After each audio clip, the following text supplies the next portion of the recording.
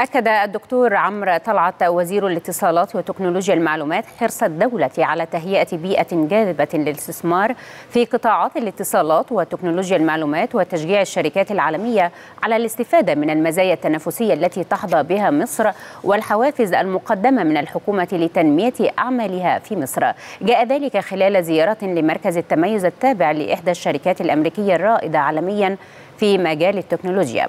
حيث أشار الوزير أنه يتم بالتعاون بشكل وثيق مع كبرى شركات التكنولوجيا العالمية لتحقيق رؤية الدولة في بناء اقتصاد رقمي وتعزيز جاذبية قطاع الاتصالات وتكنولوجيا المعلومات المصرية.